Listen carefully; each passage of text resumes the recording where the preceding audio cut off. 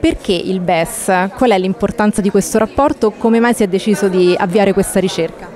C'era bisogno di concentrare l'attenzione e le misure non più soltanto sul PIL ma anche sulla qualità della vita delle persone. E per questo abbiamo scelto questo percorso di costruire indicatori sul benessere equo e sostenibile per poter analizzare ad ampio spettro in un approccio multidimensionale se veramente la vita della gente migliora oppure no.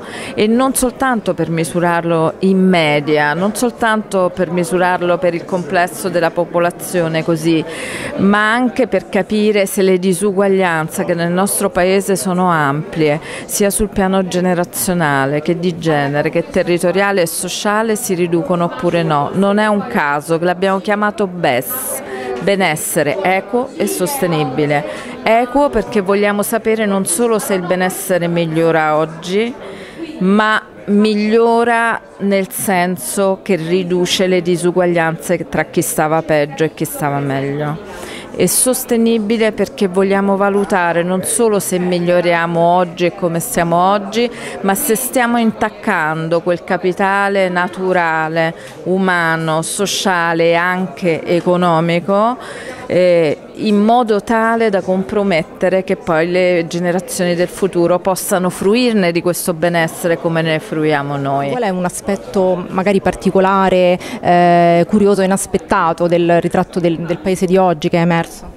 Diciamo che non c'è un aspetto inaspettato perché il benessere affronta veramente ad ampio spettro la vita della gente. Quello però che possiamo dire è che emerge ovviamente in questo momento una situazione particolarmente critica, sia da un punto di vista sociale che da un punto di vista economico e anche da un punto di vista istituzionale con un forte distacco tra cittadini e istituzioni.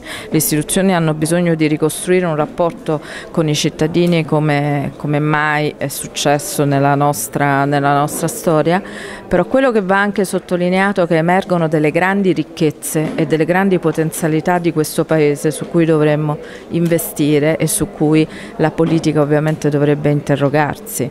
Basta pensare alle nostre bellezze naturali, paesaggistiche, culturali, assolutamente non sfruttate, eh, non sfruttate fino adesso, non adeguatamente valorizzate anche da un punto di vista economico, basta pensare anche a tutte le nostre potenzialità e ai traguardi che abbiamo raggiunto nel mondo della salute, dove certo dobbiamo migliorare nella riduzione delle disuguaglianze, ma abbiamo una speranza di vita che è elevatissima, tra le più alte al mondo. Quindi insomma diciamo anche messa messaggi molto duri rispetto a una situazione che sappiamo essere critica, dove anche la soddisfazione dei cittadini diminuisce rispetto al passato proprio per la criticità ma anche messaggi di speranza perché poi ci sono molte persone che anche oggi stanno male che hanno fiducia nel futuro.